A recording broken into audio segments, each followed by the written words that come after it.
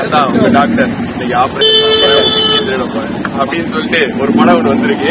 Doctor ஒரு படம். படம் ரொம்ப ரொம்ப எதிர்பார்த்து ரொம்ப நாள் எதிர்பார்த்து இருந்தாங்க ஓட்டருமா தேட்டருமா மட்டும் தேட்டர்ல இன்னைக்கு ஒன்றாம் தேதி சனிக்கிழமை இந்த படம் வந்திருக்கு. தேட்டர் வாசல் இருக்கிற படத்தை பார்த்து பார்த்தோம். படம் பார்க்க முன்னாடி உங்களுக்கு சொல்லணும்னு பார்த்தோம். நாங்க வந்து அவசர அவசரமா படம் வழக்கம் போல. மாதிரி வழக்கம் போல. லேட்டா வந்தோம். அதனால படம் பார்க்கறபடி வழக்கமா சாப்பிட்டு ஒரு வீடியோ போறோம் அது இன்னைக்கு மிஸ் நீங்க miss. ஏன்னு பாத்தீங்கன்னா செம்ம கிரௌடுங்க கிட்டத்தட்ட ஹவுஸ்ஃபுல் கொரோனாக்கு அப்புறம் ஒரு ஓப்பனிங் வந்து டாக்டர் படத்துக்கு ஓடிச்சு. ரெண்டு ஸ்கிரீன்ல ஹவுஸ்ஃபுல் என்னடா கண்ணாடி நாடி எல்லாம் போட்டு உட்காந்துருக்கேன் நினைக்காதீங்க இதே கெட்டப்ல தான் நம்ம சிவகார்த்திகன் வந்திருப்போம் அதனால சும்மா லைட்டா ட்ரை பண்ணி எடுத்துக்கலாம். படத்தை பொறுத்த அளவுக்கு நாங்க என்ன ரிவ்யூ சொல்லுமா கண்டிப்பா. ரிவ்யூ என்னது? படத்துல ஃபர்ஸ்ட் ஹாஃப் அல்டிமேட்டான காமெடி சீன் தான் இருக்கு. படத்துல மெயின் வந்து அவங்களெல்லாம் நீங்க ஹீரோ அவர் ஹீரோ தான். அவர் தானே main. இது அதெல்லாம் அதுக்காக ஹீரோனி ஹீரோனி பேர சொல்லி பிரியங்கா மோகனு. பிரியங்கா மோகன் டேரக்டர் நெல்சனு அடுத்த படம் பீஸ் எடுக்க போறாரு. டேரக்டர் கோலமா கோயில எடுத்த டேரக்டர். யோகி பாபு நடிச்சிருக்காரு. அப்படின்னு சில இன்னும் சில அர்ச்சனா இன்னும் சில நட்சத்திரங்கள் நடிச்சு கொடுத்ததான் இந்த முக்கியமான ஒருத்தர் சொல்லணும். அவர் வந்தாலே நீங்க சிரிப்பீங்க. ஒரு ஒரு கட்டையா ஒருத்தர் வருவாரு. அவர் வந்த அவர் பார்த்தாலே சிரிப்பீங்க. எல்கேஜி படத்துல ஆமா அந்த அந்த ஏ ஒன் படத்துலயே ஒரு காமெடி பண்ணுவாப்ல அவர் பார்த்தாலே உங்களுக்கு சிரிப்பு வரும். அப்படிப்பட்ட ஒரு இது இருக்கு அவருக்கு அவரு திறமை இருக்கு அவர் திறமை இருக்கு. அடுத்த ஒரு தமிழ் சினிமாவில் ஒரு காமெடி கிடைச்சாரு கிடைச்சாருங்க வழக்கம் போல யோகி பாபு ஒரு நல்ல காமெடியை இந்த படத்துடைய கதைகள் எல்லாருக்குமே. படம் கதைகள்லாம் எதுக்குங்க சொல்லி ஸ்டார்டிங்ல பதினஞ்சு தெரிஞ்சிடும். அதுல இருந்து நம்ம வந்து காப்பாத்துவோம் கதை தான். தெரிஞ்சிடும் ஆனா நீங்க படம் முழுக்க பார்க்க பார்க்க வைக்கிற அளவுக்கு ஸ்கிரீன் பிளே ஸ்கிரீன் பண்ணிருக்காங்க. பிளே இருக்கு. ஆமா. அது மாதிரி கிளைமேக்ஸ் வரைக்கும் கடைசி நிமிஷம் காட்சி வரைக்கும் சிரிப்பு காட்சி வச்சிருக்காங்க.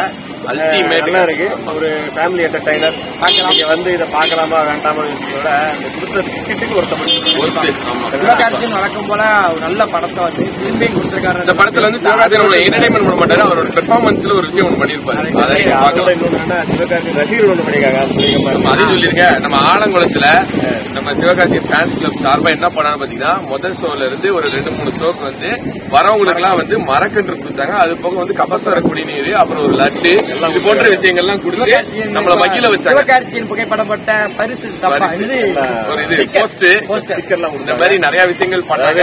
ஒரு ஹீரோ போல. ஒரு ஃபேன்ஸ் நிறைய பேர் சொல்லுவாங்க என்னடா அவங்க ஹீரோ என்னடா பண்ணிருக்காங்க? அப்படின்னு சினிமா நடிகர்கள் நிறைய பேர் தப்பா பேசுவாங்க. அதுக்கு முன் உதாரணமா இப்படி ஒவ்வொரு ஃபேன்ஸ் பண்ணிட்டு இருக்காங்க. அதையும் அவங்க கண்டிப்பா கொண்டு போய் சேர்க்கணும்னு காண்டி தான் நாங்க இந்த வீடியோ நிறைய விஷயங்களை செய்யறாங்க ஒரு இருக்கிற க்ரௌடு இதெல்லாம் பார்க்கும்போது தமிழ் சினிமாவில் அதாவது கொரோனா அதுன்னு சொல்லிட்டு இருந்தாங்க பாத்தீங்கன்னா ஹவுஸ்ஃபுல்லா இருக்கு எல்லாருக்கும்.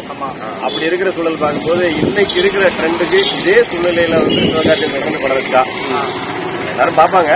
தொடர்ந்து நடிச்சா மிகப்பெரிய இடம் வந்து அவருக்கு தான் காத்திருக்கு நட்சத்திரங்களோட அவருக்கு உண்மைதான்.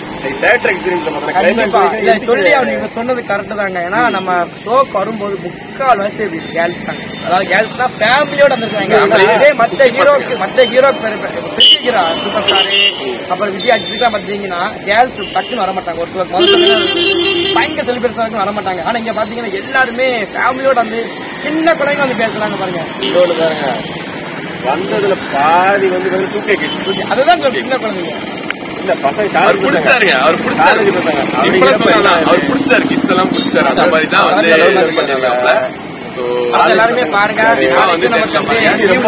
அவருக்கு வந்து ஃபேன் ஃபாலோவர்ஸ் இருக்காங்க. ஆனா இவர் படம் இப்படியே நடிக்கணும்.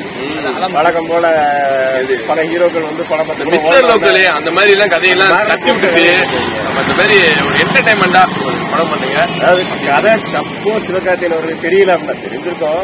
ஃபேன்ஸ்க்காவது கேளுங்க என்ன படம். இல்ல, இவரை கான்டாக்ட் பண்ணுங்க சிவகார்த்திகேயன் அவர்களே இந்த வீடியோ பாத்தீங்கன்னா நம்ம ஜிமெயில் கொடுத்திருக்கோம். இவர் வந்து கான்டாக்ட் பண்ணுங்க.